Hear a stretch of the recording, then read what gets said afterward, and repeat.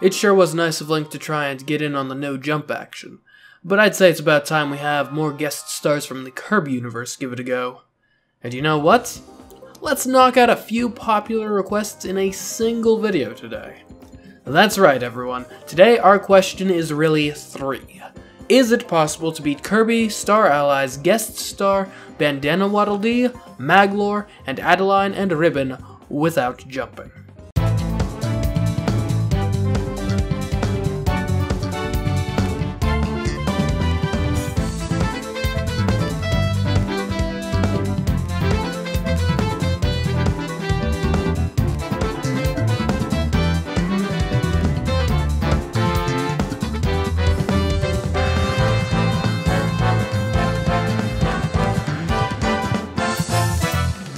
As usual, our main target for elimination today are regular jumps, as denoted by using the move jump slash hover, not friend circle slash friend train jumps.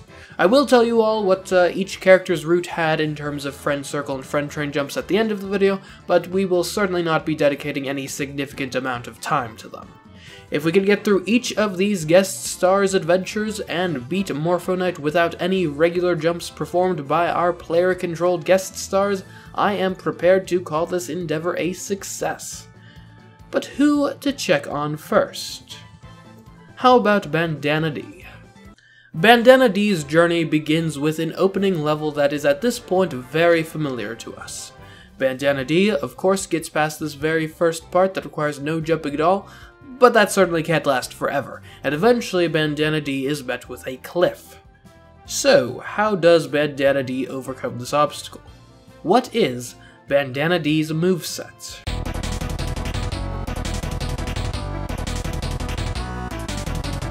Bandana Dee's moveset is with little exception the same as the old classic Spear. As such, Bandana Dee only has one real jump replacement to speak of, the Spear Copter. Luckily, this jump replacement is pretty good, as it's able to offer us both good height and horizontal movement with even just a single use of the move. Which brings us to one of the Spearcopter's main weaknesses. It is in most cases extremely untenable to use while in the air. This means that for most intents and purposes we cannot achieve infinite flight with Bandana Dee. That's not necessarily a deal breaker, but it is certainly inconvenient. One other inconvenience of the move is the fairly long charge required before Bandana Dee can actually perform the Spearcopter. This means that Bandana Dee's reaction time when called upon to use the Spearcopter on short notice isn't great. Nevertheless, the Spearcopter is overall a pretty good jump replacement that is more than sufficient to get Bandana Dee over this cliff, up onto these pole chains, and generally through the rest of this opening section. Alright, it looks like Bandana Dee is well on his way. Let's check in on Magolor now. Magolor also starts his journey with a familiar opening, though this time it's not one we've seen in Star Allies before. Instead, it's a recreation of the first level in Kirby's Return to Dreamland. And as any of you longtime viewers should know, this bodes quite well for us. So the level's looking pretty good, but what of Magolor's moveset?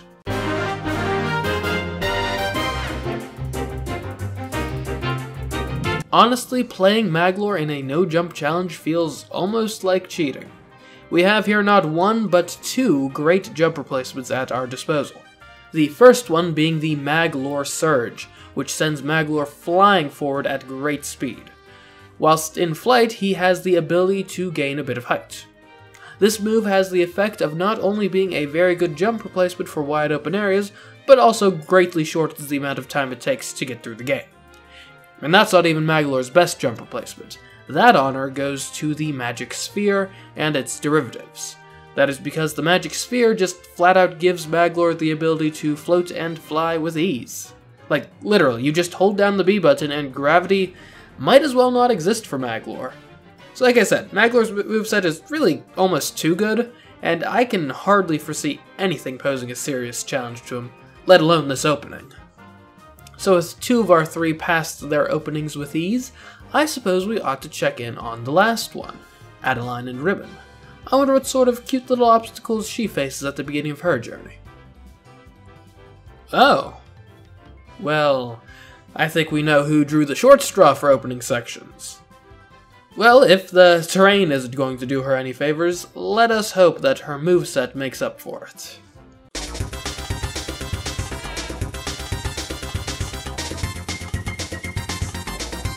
Given who Adeleine is as a person, I suppose it's fitting to start with her painting, specifically the move Ado's Painter, which lets Adeleine draw a boss to ride. Now, as cool as the ninja and ice dude are, what really interests us today is her ability to draw Kracko.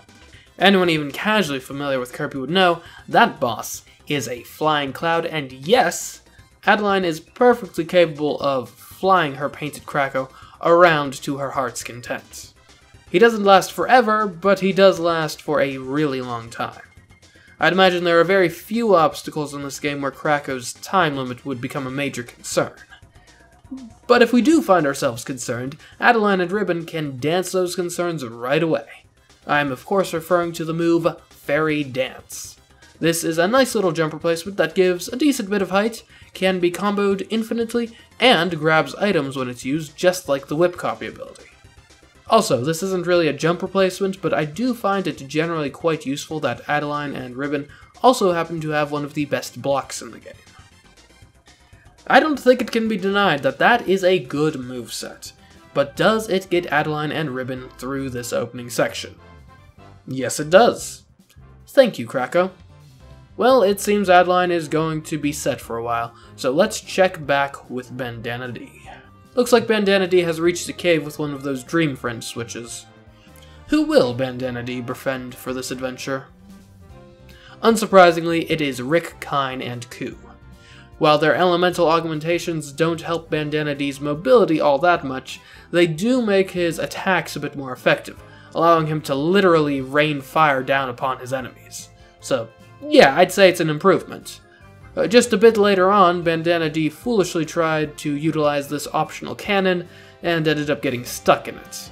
As it turns out, you can't get out of one of these cannons without either getting shot out or jumping out. Looks like Bandana Dee is going to have to restart his quest. And while we wait for him to get back to where he was, let's check in on Magolor. Looks like Magolor has gotten to a cave as well, albeit a different one. Here, Magolor faces down an old adversary of ours keys. this particular one is set up in the exact configuration as the first one from Return to Dreamland. In that case, we were able to just throw the key where we wanted it.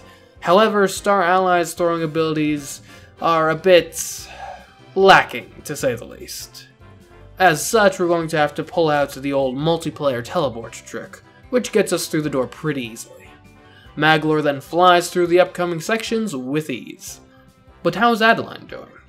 Good question. Let's find out. Seems like she's doing pretty well. That spike-filled area has given way to a much more friendly plains, followed by a bit of a memory section, neither of which are much of a challenge for her. With that, all three of our heroes are set and ready to face the Preamble 2 as well as Whispy Woods itself, followed by King Dedede.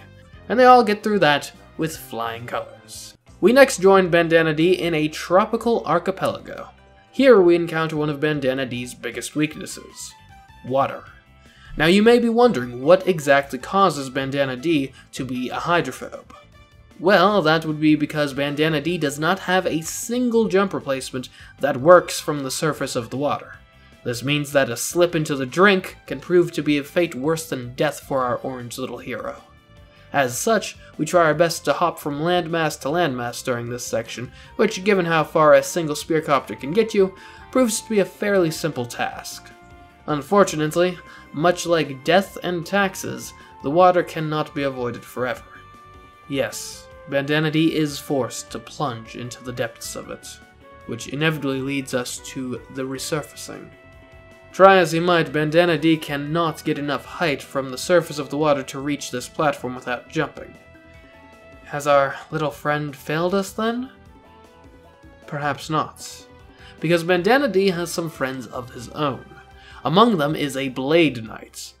This Blade Knight can use an upward slash to get up on the platform and through the door to the next area, thus saving our beloved Bandana Dee from the terrible fate of jumping.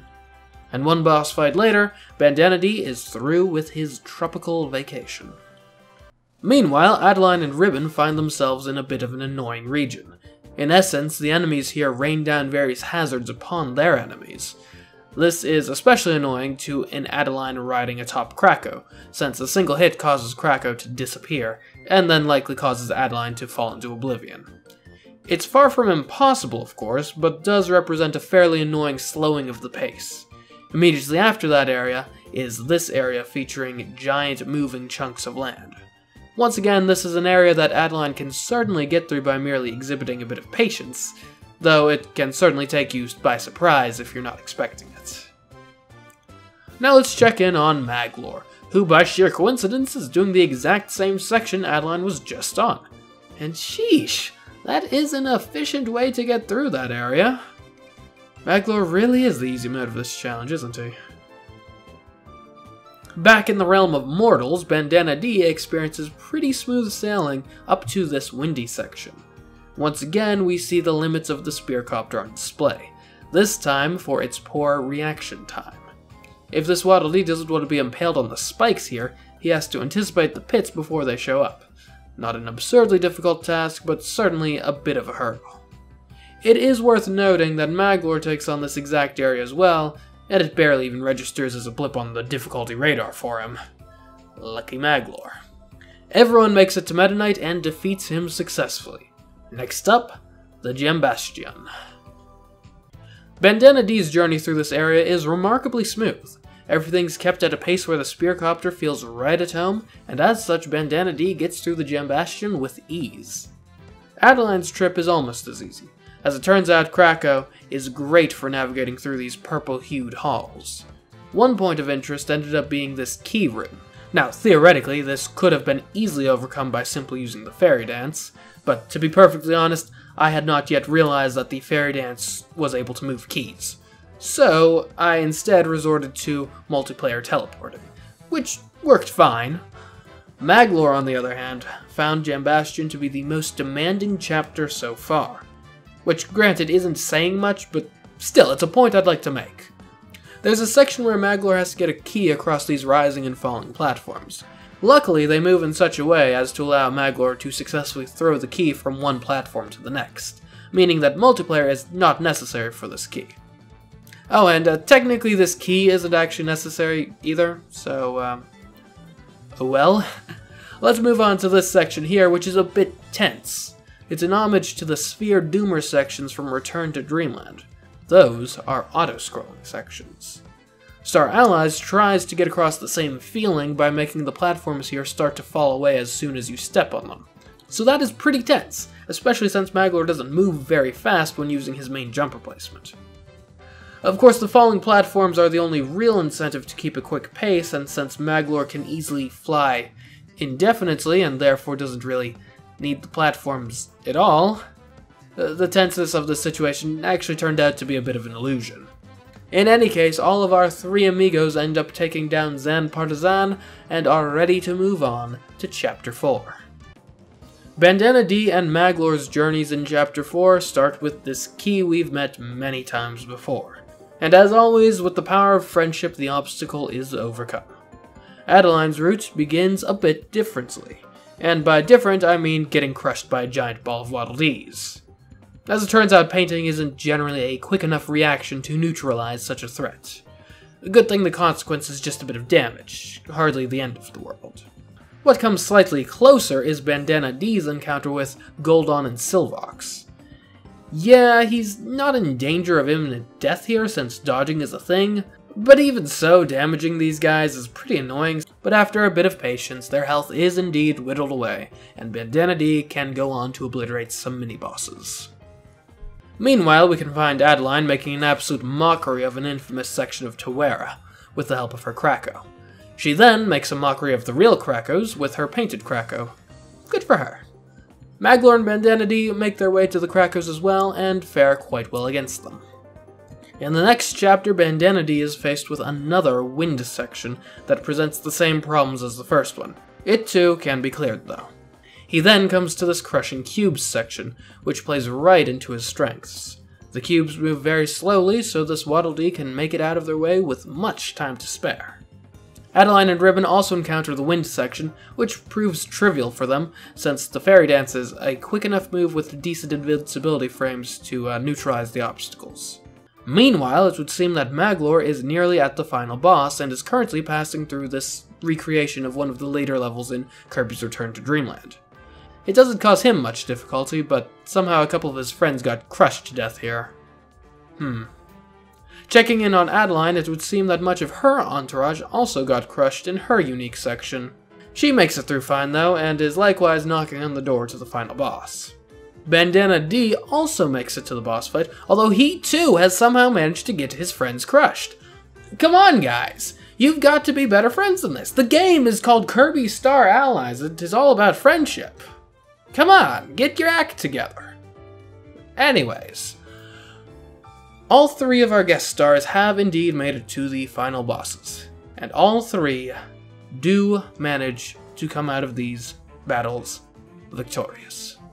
Meaning that since we are ignoring friend circle slash friend train jumps because, quite frankly, they're boring, we have found that it is possible to beat Kirby Star Allies guest star Bandana Waddle Dee, Magolor, and Adeleine and Ribbon without jumping.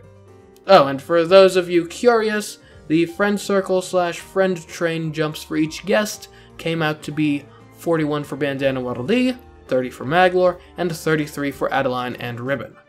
The discrepancies between those numbers come down to which friend train and friend circle sections actually appeared in their respective routes. Anyways guys, that is it for this video. But don't you leave just yet, because there is more Kirby No Jump content for you to experience today. I worked with another YouTuber named Waluigi Goes Wa on a video for a no jump challenge he did on Kirby's Epic Yarn. So I'd say now that we're done here, we should all go over to his channel and check that video out. I know at the very least I'm going to be there. But anyways guys, until next time, I've been CMeeCraft, and I'm sure I'll catch you in some infuriating challenges in the future.